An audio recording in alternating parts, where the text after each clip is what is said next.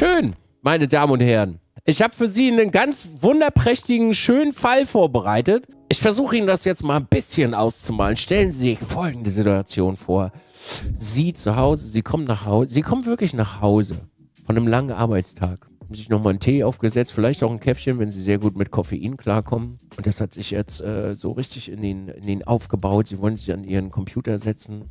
Sie lassen sich in den Sitz fallen. Sie atmen wirklich ganz, ganz tief durch und lassen sich so richtig fallen und kommen in dem Moment. Sie kommen an. Dazu essen Sie noch ein kleines Öbsterle, vielleicht auch ein Stück Kuchen. Sie lassen das so richtig schön durchsacken. Sie nehmen die Hand, legen sie an die Maus, meinetwegen auch an Trackball, wenn sie ganz verrückt sind. Oder vielleicht auch auf das Touchpad, wenn sie Apfelbenutzer sind. Sie fahren so mit den Fingern durch die Gegend und sie klicken auf eine, eine Hyperverlinkung. Und diese Hyperverlinkung öffnet eine Seite für sie. Und voller Vorfreude warten sie darauf, was ihnen ihre Freunde für eine wunderschöne Sache geschickt haben, um sich einfach mal wieder so richtig wegzukegeln und herzlichst zu lachen. Und an dieser Stelle setzt genau dieser Film für sie ein.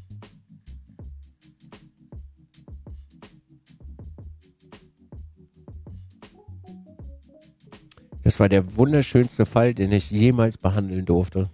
Und wissen Sie was? Vor zwei Tagen, als die Akten vorbereitet wurden, war dieser Film noch da. Und ich habe trotzdem noch Content draus gemacht. Trotzdem noch Content draus gemacht. Maximale Verwertung. Alles gut, Galdi, haben wir alles geklärt. Das ist belastend? Wieso? Das war doch sehr schöner Content gerade. Oder möchte jetzt jemand äh, sagen, dass das kein guter Content war? Ha? Möchte jemand sagen, dass das kein guter Content war? So trete er vor. Meine Damen und Herren, keiner sagt was. Gut, ich merke mir das. Ich merke mir das. Oh, meine Damen und Herren, es geht aber auch heute wirklich zur Sache. Es geht wirklich zur Sache. Valencia ist heute der Ort to be. Jeder will in Valencia sein. Jeder.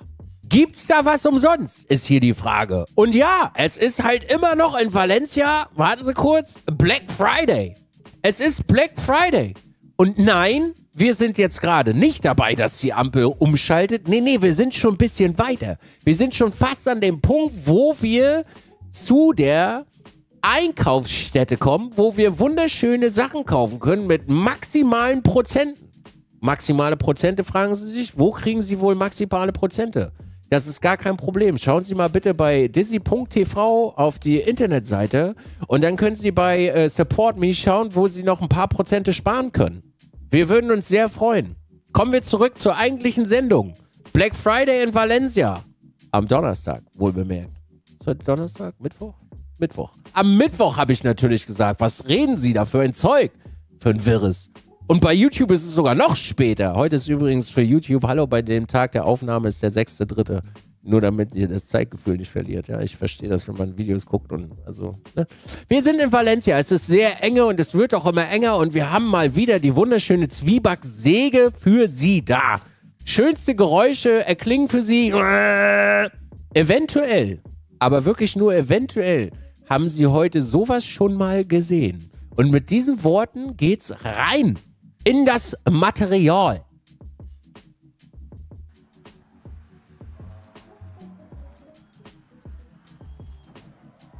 Und jetzt fragen Sie sich, warten Sie mal kurz, Herr Jutke. Da war doch vorher schon irgendwie ein oranges Fahrzeug. Wo kommt denn das jetzt auf einmal her? Könnte es sein, dass wir einen Taucher aus der dritten Reihe hatten? Der kam von ganz weit unten, der hatte aber mehr Sauerstoffflaschen auf. Aber schauen wir mal rein. Schauen wir mal rein. Man denkt sich so, na, der Orange wird's ja machen. Aber sehen Sie schon das leichte Grau aus dem Dunkel kommen? Hm, da leuchten schon die Augen. Hui, Da wird auch gleich nochmal energisch mit Lichtsignalen zu verstehen gegeben, aha, aha, hier ist aber irgendwas nicht richtig. Und da war so einiges nicht richtig. Hier haben wir es gerade nochmal zu sehen aus der Sicht des Stuttgarters.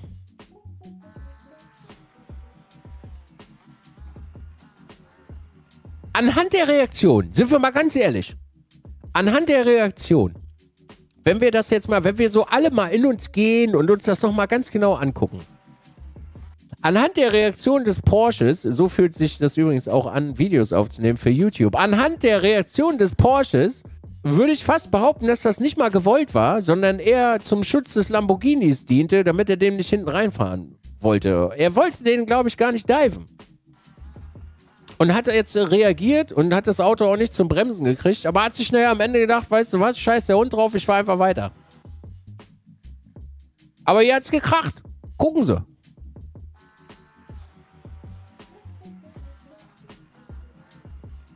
Oh, das ist schon, das sieht schon ein bisschen energisch aus, ne?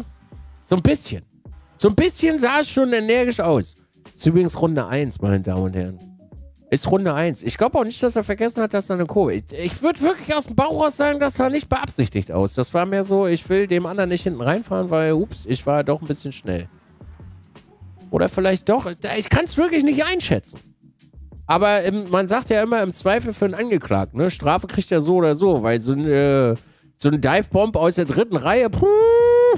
Und das noch in der ersten Runde. Eieieiei. Da weht aber ein eiskalter Wind durch dein Safety-Rating.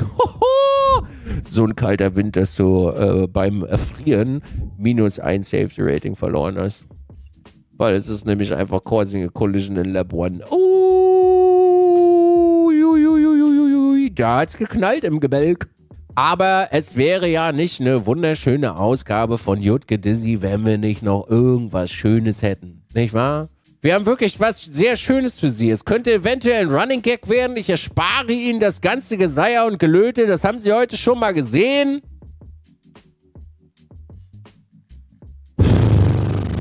Und wir haben es nicht gesehen.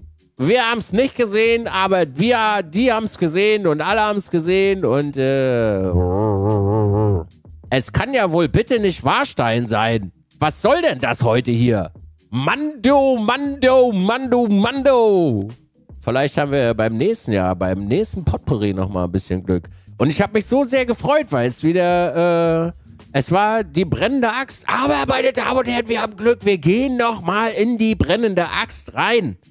Und das Schöne ist an der ganzen Sache, wir sind nicht, und ich wiederhole, wir sind nicht im GT3 unterwegs. Wir sind wahrscheinlich in der äh, schönsten und erotischsten äh, Fahrzeugklasse auf dem ganzen Planeten unterwegs. Ich habe da so einige Menschen in meinem Team, die lieben die über alles. Und ich weiß auch warum. Ich glaube, sie möchten sich in ihren jungen Jahren nochmal wie Rentner fühlen. Sie möchten sich nochmal wie Rentner fühlen. Wie ihre Autos, die sie im realen Leben durch die Gegend bewegen. Mit ungefähr 10 PS und so durch die Kurve fahren. Mm. Wir sind in Englando unterwegs. Heute mal kein regnerischer Tag in Englando. Alles super schön aufgedeckt. Am Himmel mit einem bisschen Sonne. Der Asphalt ist warm. Der Grip ist da. Alleine unterwegs. Niemand weit und breit zu sehen. Dachtest du dir? Und mit diesen Worten würde ich jetzt hier für Sie nochmal das Material abspielen. Und folgendes ereignete sich.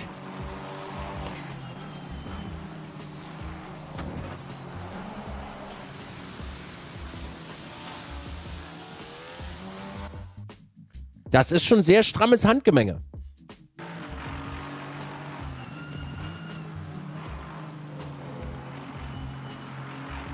Das ist schon wirklich sehr strammes Handgemenge hier.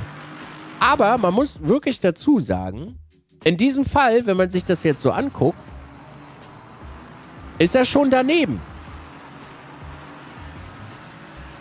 Also er hält seine Linie, fährt die Kurve, macht und tut und der Alpin fährt immer näher an ihn ran. So, jetzt ist ja, jetzt fragt man sich wieder, oh, was macht man denn jetzt damit?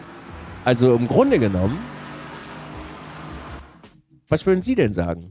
Alpin hätte das sehen müssen.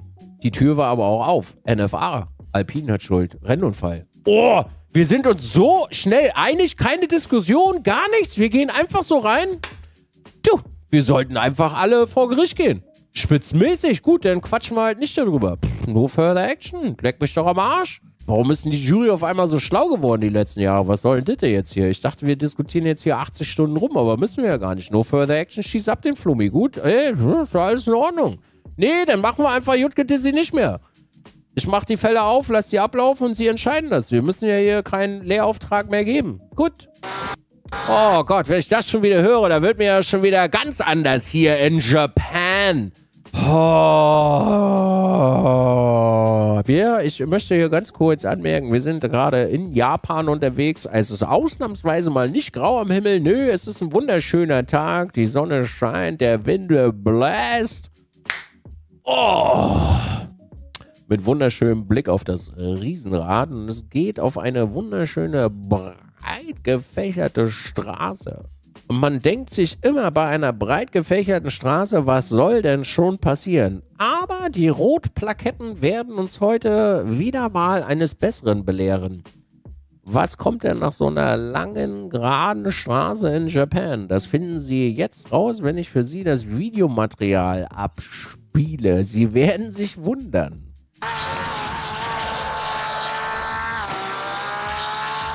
Nice catch, by the way. Schön das Auto eingefangen. Aber das gibt natürlich jetzt dem Ferrari ein bisschen Geschwindigkeit.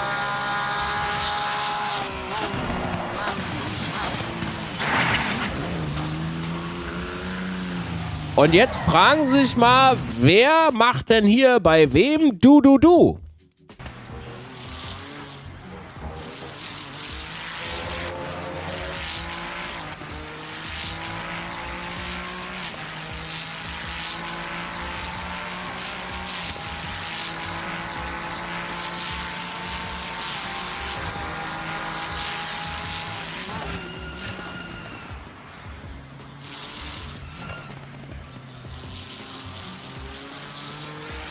So, nachdem Sie jetzt den Film gesehen haben, der Porsche hat den Ferrari angezählt.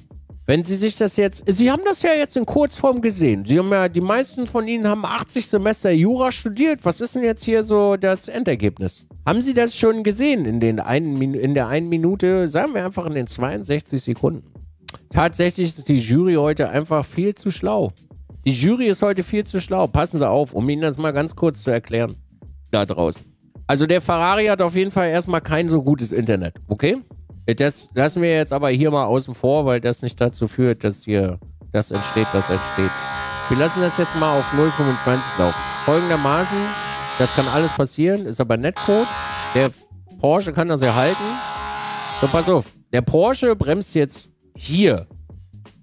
Also normalerweise würde ich sagen, bremst man hier. Schon sehr spät. Und was der Porsche hier macht, ist, der Porsche bremst nicht geradeaus runter, sondern der bremst schräg rein. Und der Ferrari bremst geradeaus runter und nicht schräg rein. Das heißt also, irgendwann, wenn wir zum Beispiel in Geometrie in der Schule aufgepasst haben, werden wir feststellen, dass wir dadurch irgendwann einen Schnittpunkt erreichen. Und dieser Schnittpunkt ist der Punkt der Kollision. Mann, habe ich in Geometrie gut aufgepasst einige von Ihnen da draußen definitiv besser als ich, aber es ist eine schöne Analogie. Hier aber an der Stelle kann man sehen, dass der Ferrari geradeaus runterbremst und der Porsche einfach schräg rüber. So, jetzt ist halt die Frage, ist der Porsche selber schuld, dass er schräg runterbremst, weil er außer Acht lässt, dass neben ihm ein Fahrzeug ist? Oder ist der Ferrari schuld, weil er einfach geradeaus runterbremst? Weil Platz ist genug da.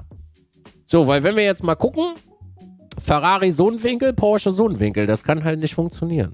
Da kommt es halt zu Reibereien. Also an dieser Stelle ist das hier ein, äh, ja, No Further Action. Gibt kein, äh, ist halt ein Rennunfall. Das, die, die Suppe hat sich der Ferrari hier an der Stelle, sage ich schon, der Porsche selber eingebrockt. Also falls neben ihnen einer ist, müssen sie auch immer noch auf ihren Nebenmann ein bisschen achten. Das ist hier kein äh, Einmannsport, weil auf der Strecke sind wir alle da.